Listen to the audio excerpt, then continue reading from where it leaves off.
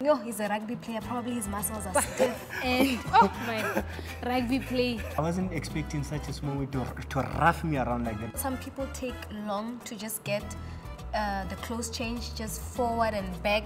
It's like I'm a horse, eh? He holds on too tight. Like it's almost as if he's afraid if I'll fall. I've got it in my head that I need to be gentle, but my, my hands are doing something different. I think I'm maybe nervous